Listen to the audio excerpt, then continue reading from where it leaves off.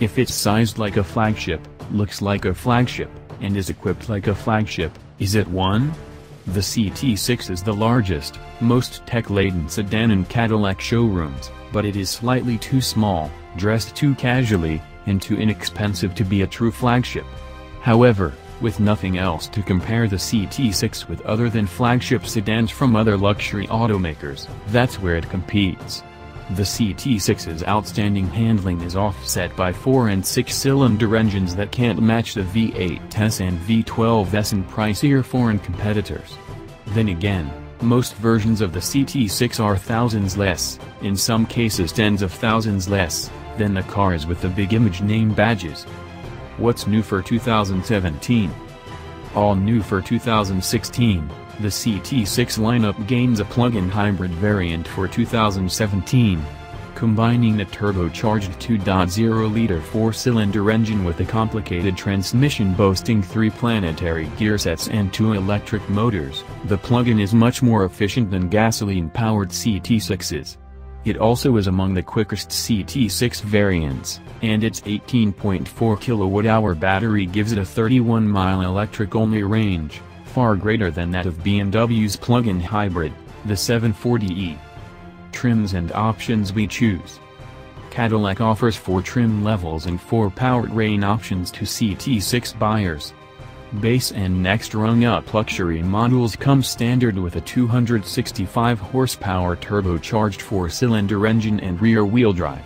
A 335 horsepower non-turbo V6 is available on the luxury and standard on the premium luxury and platinum specs, paired exclusively with all-wheel drive.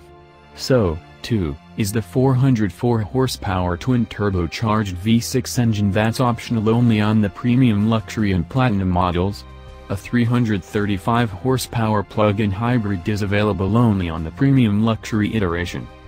Without question, the CT6 is at its best, and quickest, with the optional 404 horsepower twin-turbo V6.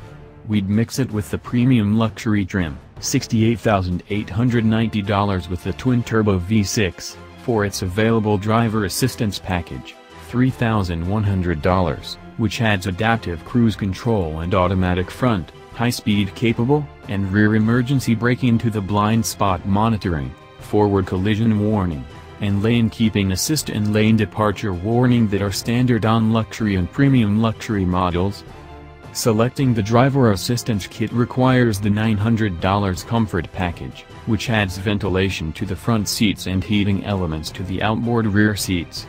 Beyond that, we'd spring for the $3,300 active chassis package for its adaptive suspension and rear wheel steering setup. The grand total? A reasonable for something this large and luxurious, $76,190. Our chosen CT6 comes with the following niceties. 404 horsepower twin turbocharged 3.0-liter V6 engine. All-wheel drive. Automatic high beams. 16-way power heated front seats.